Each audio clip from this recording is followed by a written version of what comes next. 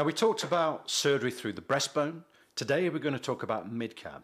MIDCAB stands for minimally invasive direct coronary artery bypass grafting, and it can be very transformative for patients who need grafting to important arteries, usually on the front of the heart. The typical artery is the left anterior descending artery. It's one of the most critical arteries in the heart. And grafting this surgically with an artery from behind the breastbone called the LIMA artery can actually confer long-standing life-enhancing benefits. The idea is that we make a small cut between the ribs on the left-hand side. We harvest the left internal mammary artery and we literally plug it into the left anterior descending artery or perhaps other arteries on the front of the heart past the blockages so that you've got the flyover. We can often do this on the beating heart, so we don't have to use the heart-lung machine, and that helps your recovery.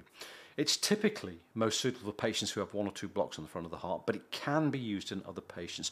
We call that a different operation. We call that TCRAT, and that's where we can do double, triple, quadruple bypass grafts through keyhole incisions. We're going to talk about that operation in the next video. One of the biggest benefits of these procedures is that instead of opening the breastbone, we make a cut between the ribs, which can heal in seven or eight days. And by the third or fourth week, you can go to the gym, you can play golf, you can play tennis with very little pain or any impediment from the wound itself. If the breastbone is open, that takes 12 weeks to heal. And usually it's three or four months of recovery. And so you can see the massive difference that MidCab and TCRAT can offer patients who are suitable. In our next video, I'll explain a technique called TCRAT, and that will give you an idea of how we will assess patients for both TCRAT and MidCab.